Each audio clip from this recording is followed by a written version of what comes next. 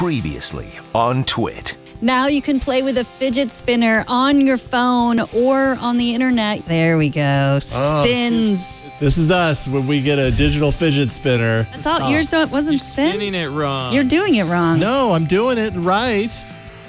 You're not doing it right.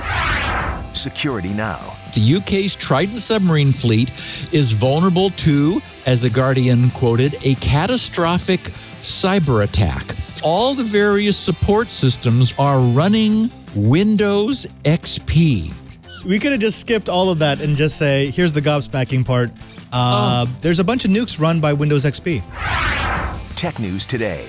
The idea of buying likes or followers isn't new, but Louise Matsakis from Motherboard recently came upon a photo of a vending machine in a mall that will sell you 100 likes for a mere 50 Russian rubles. all of the likes and all the followers come from bot accounts. It appears like there's some sort of automated marketing that happens when you use this machine. I definitely would not recommend anybody any of maybe make a better post.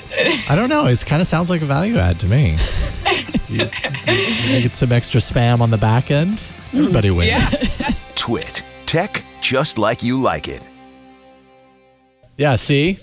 See, we're all doing it wrong, aren't we? Uh huh. You got you got one spin. What's wrong with this stupid?